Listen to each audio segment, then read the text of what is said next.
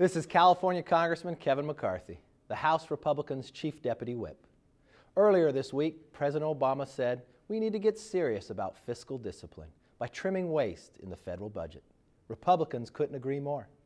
We want to work with the president to get our financial house back in order.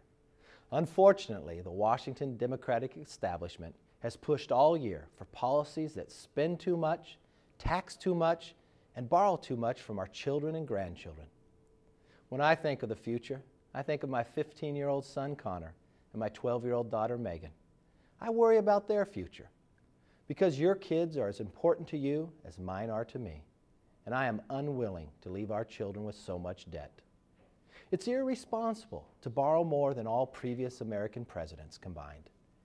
And it must stop if we want to get our economy moving again the trillion dollar stimulus bill, the $410 billion omnibus spending bill, and the massive fiscally irresponsible Democratic budget that doubles the debt in just over five years and triples the debt in just over 10 years. All this money, but why are we funding a skateboard park in Rhode Island and new bike racks in Washington, D.C.?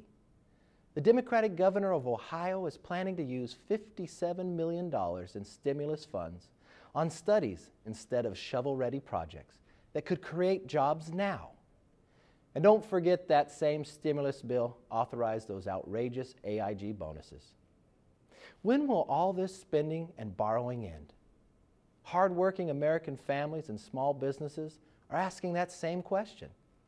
In fact, thousands of Americans turned out on tax filing day to say they've had enough of the high taxes and borrowing to bankroll Washington's spending spree. I attended one of these tea parties in my hometown of Bakersfield, California. And believe me, the message was heard loud and clear.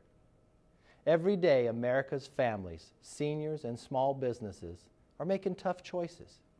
They're worried about their jobs, their mortgages, their savings. They're sacrificing to pay the bills to make sure their children get a good education. But Washington isn't willing to make the same difficult decisions. This is why Republicans are leading the way with solutions to provide a new direction. Rather than proposing more Washington spending, Republicans propose tax relief for American small businesses. We know America's entrepreneurs and innovators create the jobs in our economy. Over 70% of all American jobs come from small businesses. Republicans are also working to reduce taxes on hardworking American families, rebuild their savings, lower their energy costs, expand access to affordable health care, but most of all, curb Washington's spending and borrowing. These are not Republican or Democratic ideas. These are common sense American solutions that we have heard from millions of Americans. And we know that when the government spends our hard earned tax money, we should be guaranteed accountability. That's why House Republicans are unveiling Washington Watch, a new website tracking misuse of taxpayer dollars and stimulus waste. We invite you to visit that website at www.republicanwhip.house.gov.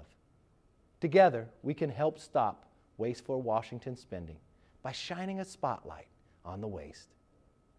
In this time of economic crisis and financial instability, Republicans are reaching out to the President and Washington Democrats to find solutions to solve our country's problems. We have incredible challenges before all of us, and we ask all Americans to join us in working together for better solutions.